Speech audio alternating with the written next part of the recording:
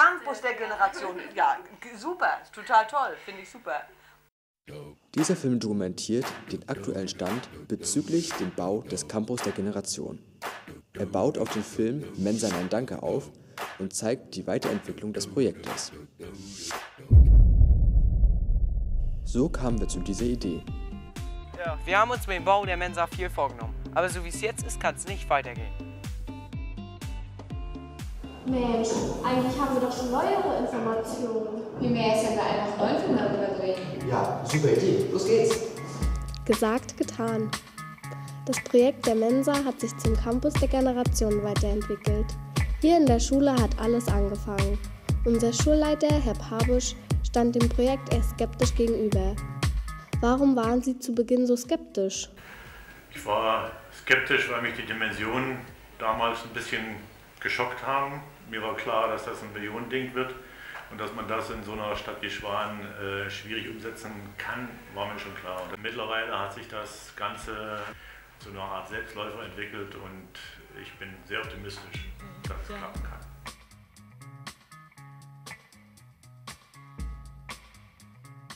Auch dem Bürgermeister haben wir schon von unserem Vorhaben berichtet.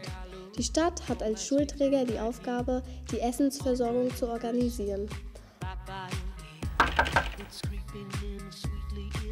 Heute haben wir wieder ein Gespräch bei dem Bürgermeister Herr Schauer. Berichten Sie doch einmal selbst, wie Sie auf unser Projekt aufmerksam geworden sind. Naja, das Projekt ist ja durch die Schule an mich herangetragen worden. Es ist ja ein Missstand aufgezeigt worden, dass die Essenversorgung bei uns in der Schule nicht so berühmt ist. Von daher sehe ich das als Schulträger auch als meine Aufgabe, euch dazu unterstützen.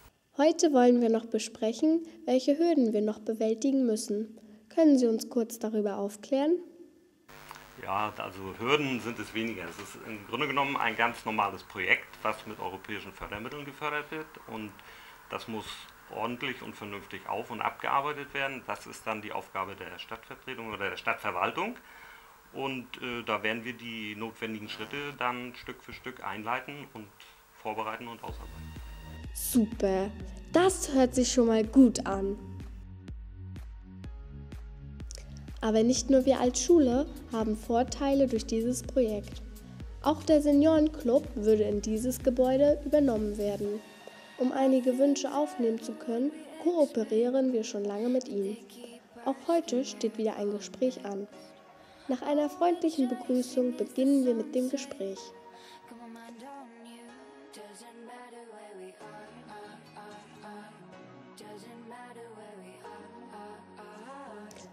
Wie gefällt es Ihnen hier im Seniorenclub? Viel zu dunkel. Es ist einfach nicht freundlich genug. Es ist. Äh, also die Barriere vorne ist schon manchmal ein sehr großes Problem. Man kommt rein, der Flur ist schon so. Ja, es ist so. Auch die ältere Generation möchte gemeinsam Veranstaltungen, zum Beispiel Weihnachtsfeiern, durchführen. Aber die jetzigen Räumlichkeiten sind dafür nicht geeignet. Beispielsweise ist die Küche für gemeinsames Backen zu klein. Vor kurzem stellten wir den Senioren das Projekt vor. Ich glaube, sie können besser berichten, wie es angekommen ist. Die Senioren waren total begeistert. Also die haben gesagt, super schön. Und also, also wir fanden es gut. Was stellen Sie sich unter Campus der Generation vor? Mehr Generationenhaus. Also einer hilft dem anderen. Ne? Man kann bunte Veranstaltungen zusammen machen. Also ich finde es gut. Eine Veranstaltung, denke ich mal, wird immer viel offener und schöner, wenn Jung und Alter drin ist. Was haben Sie für Ansprüche an das Gebäude? Hell und, freund, äh, hell und freundlich. Also einen kleineren Raum, der äh, gemütlich und knuschelig ist. Eine kleine Küche wäre super, weil wir immer einen gemeinsamen Mittagstisch machen, einmal in der Woche. Äh, äh ebenerdig. Barrierefrei. Ne? Barrierefrei, ganz wichtig. Das sollte wohl zu schaffen sein. Auch die Bibliothek soll hier ein neues Zuhause finden. Zurzeit befindet sie sich noch in einer alten Schießhalle. Des Weiteren soll in den Campus der Jugendclub aufgenommen werden. Dadurch wird es einfacher, zusammen mit der älteren Generation Erfahrungen auszutauschen. Ein wichtiger Kooperationspartner für dieses Projekt ist die Kunstmühle. Hier werden unter anderem Bilder von Künstlern der Künstlerkolonie ausgestellt, die in Schwan stattfand. Einige werden jetzt sicherlich denken, Schule und Kunstgeschichte, passt das überhaupt zusammen? Herr Brunner, können Sie sich die Zusammenarbeit bezüglich des Campuses vorstellen? Auf jeden Fall, denn wir versuchen ja schon seit Jahren mit der Schule zusammenzuarbeiten, haben es ja in einigen kleinen Sachen schon gemacht und ähm, ist sicherlich eine sinnvolle Ergänzung. Was würden Sie gerne im Campus der Generation integrieren? Es gibt in Schwarm viele Freizeitmaler, die eine Plattform suchen, denen äh, die Ausstellungsmöglichkeiten suchen, die auch Kursmöglichkeiten suchen, äh, die wir sonst hier bei uns im Hause angesiedelt haben. Freizeitkurse für Hobbymaler, für interessierte Maler mit Profi Anleitung von Profikünstlern. Und das könnte zum Beispiel da alles dann geleistet werden. Aber jetzt zurück zu unserem Grundgedanken. Wir wollen eine neue Mensa. Auch hier haben wir uns umgeschaut, wer hierfür in Frage kommt. Eine Antwort war schnell gefunden. Das AUZ Schwan. Wie ist nochmal Ihr Leitspruch? Nur wenn man äh, satt ist, dann ist der Körper auch fit, um zu lernen. Ich wünsche mir, dass die Schüler ein, äh, eine schöne Atmosphäre dann dort in der Mensa essen können. Und wir als Bildungszentrum, die schon über 20 Jahre äh, in dem Bereich der Küche und in der Hauswirtschaft ausgebildet haben, würden dort gerne Essen kochen und dann auch Auszubildende dort ausbilden. Das Essen aus dem AOZ wird quasi gleich um die Ecke gekocht. Zurzeit wird unser Essen noch 100 Kilometer über die Autobahn transportiert.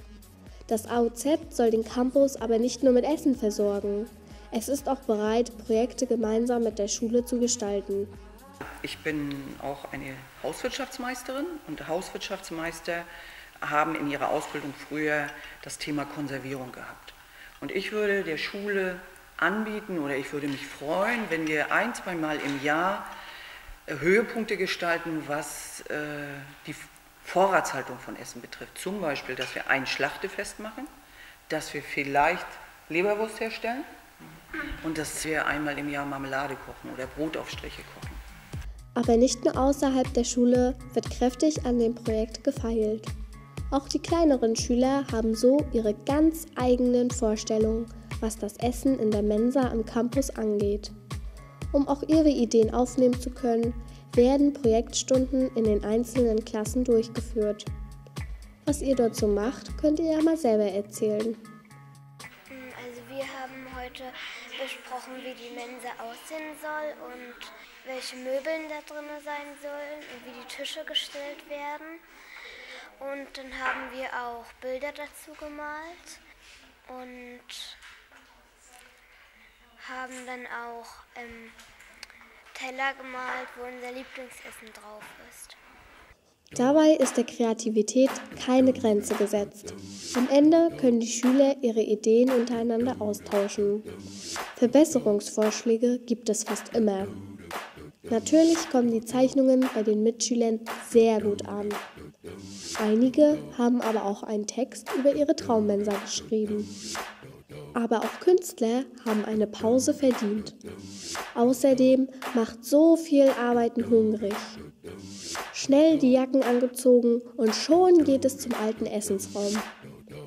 Aber wer weiß, vielleicht können die Schüler ja schon bald in ihrer Traummensa zum Mittag essen. Das ist der aktuelle Stand von unserem Projekt Der Campus der Generation. Wie sehen eigentlich die nächsten Schritte aus? Demnächst bekommen wir Besuch von zwei Architekten. Die stellen uns dann die nächsten Projektentwürfe vor.